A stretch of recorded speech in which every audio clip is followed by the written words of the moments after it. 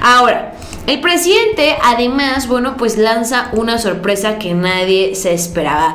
Y es que uno de sus grandes aliados en América Latina lo representará en conjunto con el canciller Marcelo Ebrard, quien es nada más ni nada menos que el presidente de Argentina, que llevará un discurso que el presidente Andrés Manuel López Obrador le pidió que diera en la Cumbre de las Américas. No hay que olvidar que al final el presidente de Argentina este año representará la CELAC, que son los pueblos de América Latina y el Caribe, y en ellos nos incluimos los mexicanos. Vamos a escuchar. Este eh, va a estar eh, Alberto Fernández de Argentina, que es el representante ahora ¿eh? de la CELAC, sí, de los países de América Latina y del Caribe, lo que fue México, ya es Argentina ahora, él va a ir y seguramente él va a hablar este, a favor de una nueva relación y ojalá y digan que nunca más la exclusión. Hablé con él por teléfono y yo sí estoy de acuerdo que él eh, pues eh, hable en lo general de que no se excluya a nadie. Este, que es toda América,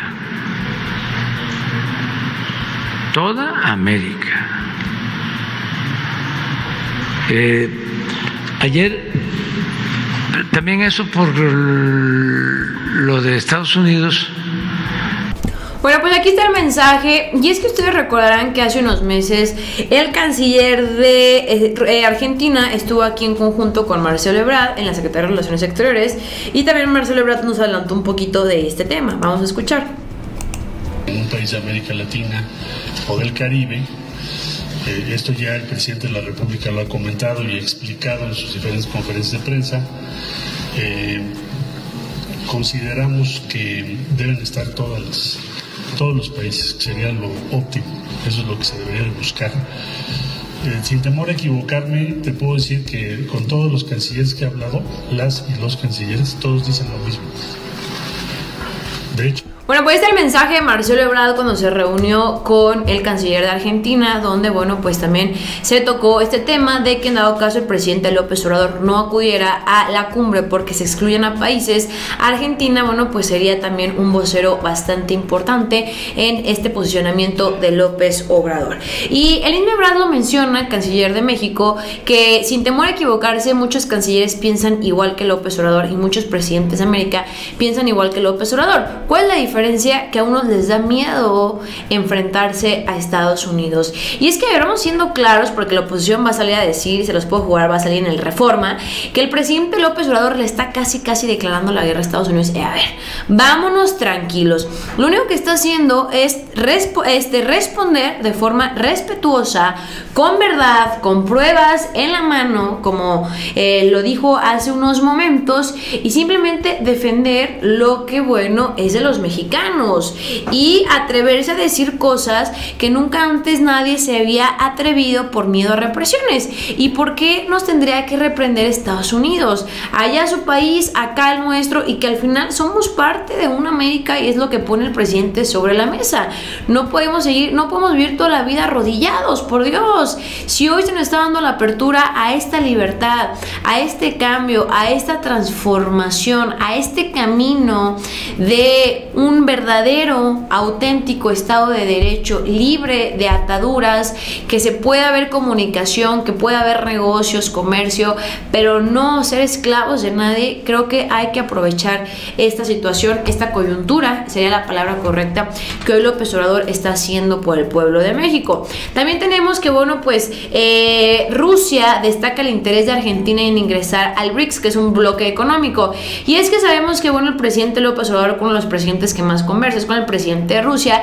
Y bueno, al ser el representante de la CELAC, donde también estamos dentro como mexicanos, el presidente López Obrador le habría hecho una recomendación al presidente de Argentina que debía de acercarse más a Rusia y no cometer ese error que a veces cometen todos los países de América, que es solamente, única y exclusivamente con Estados Unidos, nuevamente por el miedo que le tienen a este país. Bueno, pues resulta que Argentina hace caso, Rusia lo recibe en este bloque económico, sabemos que Rusia, digo Argentina, pues venía muy madreado de estos gobiernos conservadores y hoy se están intentando arreglar las cosas, muy endeudados con el Fondo Monetario Internacional. Tenemos que también, bueno, pues el, el canciller Marcelo Ebrard ya se habría reunido con el canciller de Rusia y bueno, pues al final estas son relaciones que hacen que se fortalezca eh, pues México, ¿no? Porque ese es el mensaje que mandas al mundo, no solamente estoy o dependo de Estados Unidos, yo tengo relaciones con diferentes potencias mundiales que sé que respaldan y sé que apoyan y sé que generan de una u otra forma que el comercio en el país no se colapse. Aquí tenemos cómo México y Argentina rechazan exclusión de la cumbre y bueno, Mientras todo eso está pasando, ¿dónde están los presidentes de los países excluidos? Pues lo que el viento a Juárez, o sea, tampoco se van a poner a llorar si Estados Unidos no los invitó, pues bueno, allá ellos. Y tenemos que Nicolás Maduro, mientras eh, arranca la cumbre de las Américas, bueno, pues visita Turquía y bueno, pues él haciendo sus negocios, ¿no? Esto por otra parte, para aquellos que me preguntaban. Pero bueno, la parte medular principal era esta. Bueno, mi querida familia, con esto concluimos el video del día de hoy. Déjame los comentarios qué opinas al respecto de esta información. Yo soy Juncal Solano para el Charro Político. No te olvides compartir este video. No te olvides dejarnos en los comentarios qué opinas al respecto de esta información.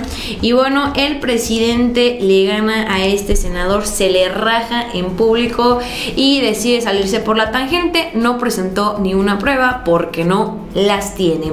Nos vemos mi querida familia. Hasta la próxima. Bromo el primer comentario. De deja de estar pagando tanto. Tener datos no es tan caro y aquí te lo voy a demostrar. Promueve. Código de descuento Juncal Solano y nos vemos hasta la próxima. Adiós.